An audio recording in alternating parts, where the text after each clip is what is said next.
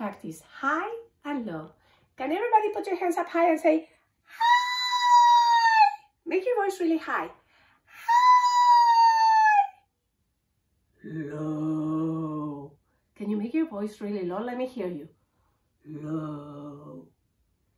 High. Low. Now let's do grandma's poem, okay? Remember our grandma's poem? Grandma has little glasses. Make your little glasses like this. These are Grandma's glasses. This is Grandma's hat. This is the way she folds her hands on her lap. These are Grandpa's glasses. This is Grandpa's hat. This is the way he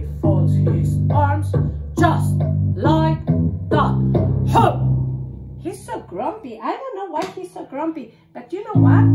Let's try it on the piano. You have a keyboard at home, I'm sure. Come with me to my piano. I'll show you how I'll do it on the piano. I have a keyboard here, see? This side. High. This side. Low. So this is going to be the grandma. This is going to be the grandpa. When I play piano, I put my finger like this. Don't make your finger like this. That's not a piano finger. It has to be round. You have to play with the tip like this. That's how you play piano, okay? So if you have a piano at home, get ready to play it with us, okay? I'll get the music again. And let's do grandma's glasses. I start on high.